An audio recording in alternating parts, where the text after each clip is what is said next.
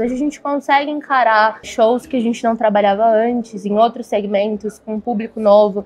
A gente consegue aceitar desafios maiores também, com uma certeza de que eles vão ser alcançados. Então é muito bom poder trabalhar a quatro mãos e ter um time aí com uma expertise gigantesca para nos auxiliar.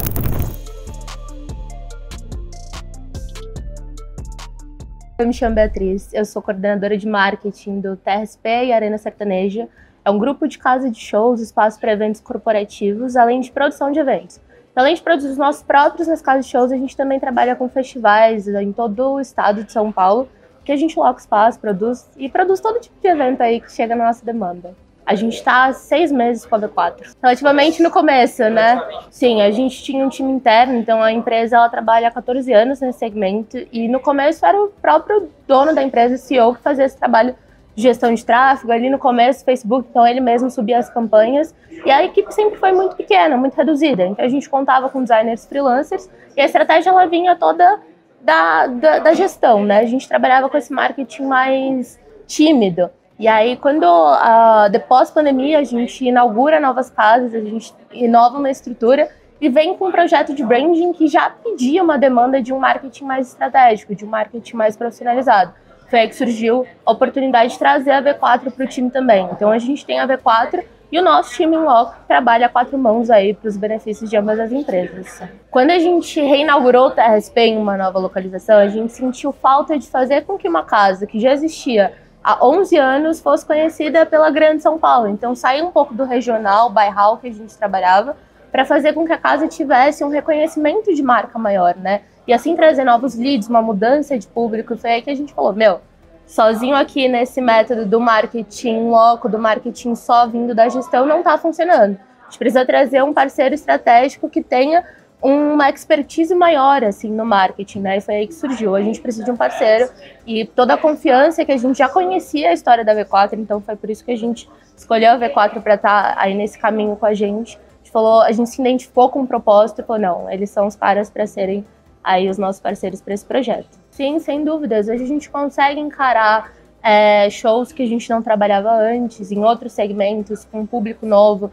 A gente consegue aceitar desafios maiores também, com uma certeza de que eles vão ser alcançados. Então é muito bom poder trabalhar a quatro mãos e ter um time aí com uma expertise gigantesca para nos auxiliar. A gente trabalha com tráfego pago, então com essa expertise de mídias nas redes sociais. Então hoje você, eles administram toda a nossa é, performance no Google, TikTok, é, LinkedIn e Facebook. Né? Então hoje a gente conta com esse braço da B4 mais estratégico para mídias sociais e performance. O que vem nos impactando assim diretamente é essa questão da diminuição do custo por aquisição. Isso é muito importante para nós, né? Porque o mercado de eventos ele tem um tempo, uma vida útil muito curta. Eu tenho um evento para acontecer em 40, 50 dias. Quanto maior o meu custo, maior a minha dificuldade de realizar esse evento fazer com que ele seja rentável.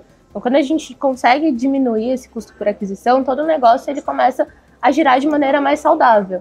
Então, acredito que, por enquanto, essa é a mudança que a gente mais vê impacto assim no, no modo geral. A gente está num trabalho aí para reajustar alguns pontos para que a gente consiga trazer esse cliente para uma venda interna, porque o que acontece muito no meu negócio é que a venda é toda online. Então eles direcionam direto para a página, o cliente compra online e, e, é isso, acabou. Não tem um contato com a maioria dos clientes. Mas a gente já está instalando um trabalho para que a venda de camarotes desses meus produtos, tanto o B2B, que são esses eventos que eu falei corporativos, eles também sejam um braço V4. Então a gente começou super recente com uma landing page para o corporativo, um trabalho de estratégia também CRM está iniciando aí, para que a gente consiga é, avançar nessa captação de leads assim, internos para o nosso time comercial. Nossa ideia é dobrar o faturamento, né? Esse é o nosso objetivo para que o grupo ele tenha o objetivo de abrir novas casas de shows. Então a gente está rentabilizando as atuais para que a gente consiga bater as metas para que a terceira ela venha em breve.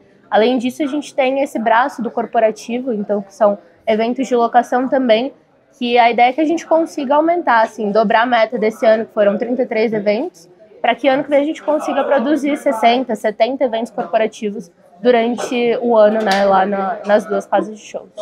Ah, muito bacana, é minha segunda vez aqui e é muito interessante poder ter essa troca com pessoas de mercados que é, no cotidiano eu não teria, né? Então eu consegui já fazer conexões muito bacanas ali na outra sala, no momento de coffee break, conseguir trocar ali ideias, negócios, parcerias. Então, clientes que eu sei que têm a intenção de e que podem vir fazer um evento com a gente, isso é muito interessante. Com certeza, muito rico.